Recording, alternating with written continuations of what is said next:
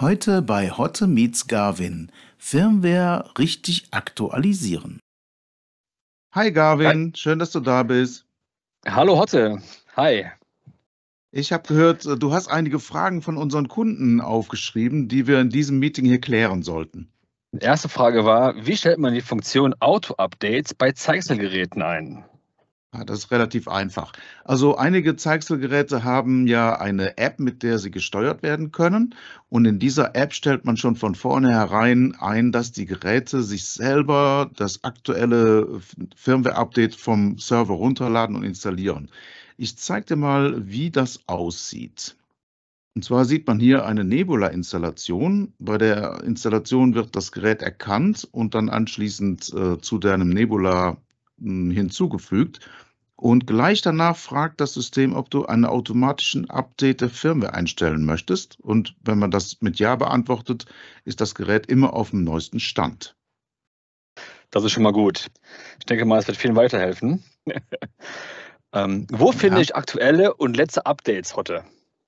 Ja, also aktuelle und letzte Updates gibt es auf verschiedenen Portalen. Ganz wichtig ist, äh, dass man sich immer im Klaren ist, dass man die richtige Firmware runterlädt. Das zeige ich dir jetzt hier mal. Also in erster Linie gibt es auf der Webseite eine Download Library und in dieser findet man immer zu jedem Produkt aktuelle ähm, Versionen. Wenn ich zum Beispiel hier ja. hingehe und suche zum Beispiel nach einem Router, diesem VMG 8825, dann zeigt er an, was hier zum Download bereitsteht. Hier ist zum Beispiel eine Firmware-Version. Und zwar die ABOM.8.2. Es ist wichtig, dass man sich immer hier an diesen Buchstaben und Zahlen in den runden Klammern orientiert, wenn das Gerät diese Zahlen und diese Buchstabenkombination nicht hat, ist die Firmware nicht kompatibel. Wo kann man das finden? Das zeige ich dir auch mal gerne. Und zwar kannst du im Menü Maintenance auf der rechten Seite unter den drei Streifen findest du den Eintrag Firmware Upgrade. Bei okay. Firmware Upgrades wird angezeigt, welche Version auf dem Gerät installiert ist. Und da stehen die Buchstaben und Zahlen in runden Klammern. Und du kannst nur die neue Datei installieren, die die gleiche Buchstaben- und Klammerkombination hat. Wenn das Gerät nicht mehr im Download-Bereich zu finden ist, dann ist es End of Life. Dann gehst du auf das Support-Portal und suchst dort nach dem IOL-Dokument. Und da findest du den Link zu einem anderen Download-Segment für Geräte, die bereits End of Life sind mit dem jeweiligen letzten Firmwarestand und dem Nachfolgeprodukt. Vielen Dank, Hotte. Ich habe hier noch eine weitere Frage, Hotte. Wie kann man Nebula-Updates automatisch einrichten? Vielleicht kannst du dazu auch noch was sagen. Oh ja, Nebula ist immer recht einfach. Dazu zeige ich dir mal, wie das auf dem Portal aussieht. So, über das Nebula-Portal kannst du die Geräte automatisch zu einem Update ähm, einstellen. Und zwar sieht man hier immer die aktuelle Version. Hm, auch da gibt es eine Buchstaben- und Zahlenkombination. Und es wird hier sogar angezeigt, dass es die neueste ist. Dann kann man hingehen und plant ein Update.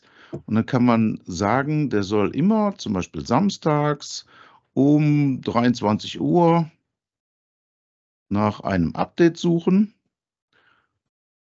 Zeitplan aktivieren, Update und jetzt würde das Gerät automatisch nach dem neuesten Update suchen und wenn es ein neues Update gibt, das auch installieren. Eine Frage hätte ich noch. Die neue Funktion MSP, Cross-Org Firmware Update. Was ist das? Ah, ja, MSP, ja, das ist auch über das Nebula-Portal, das zeige ich dir auch mal gerne. Und zwar liegt das äh, immer in der Organisation. Ne? Also hier oben muss man eine entsprechende Organisation machen.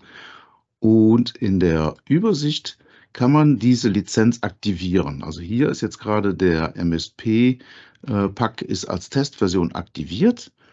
Und mit der kann man praktisch über mehrere Organisationen, ne, ich habe hier also mehrere äh, Organisationen, mehrere Sites, über die kann ich praktisch alle Geräte auf den aktuellen Stand bringen und dann entsprechend automatisch updaten lassen. Das heißt, ich muss nicht in jede Organisation reingehen, sondern kann einmal für alle Organisationen dieses Update durchführen.